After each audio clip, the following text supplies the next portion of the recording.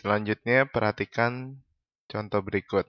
Diketahui kubus ABCDEF GH. Tentukan titik tembus EC terhadap bidang BDG. EC terhadap BDG.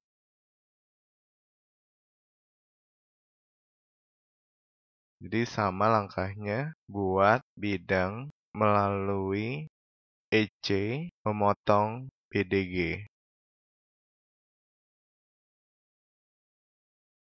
Bidangnya adalah ACGE. ACGE memotong BDG, bidang dan bidang berpotongan berupa garis. Pertama di sini dan yang kedua di sini. Sehingga diperoleh garisnya adalah garis GO.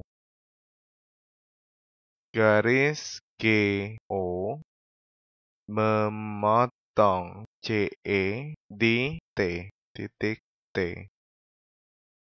Sehingga dari sini T merupakan titik tembus EC terhadap bidang BDG.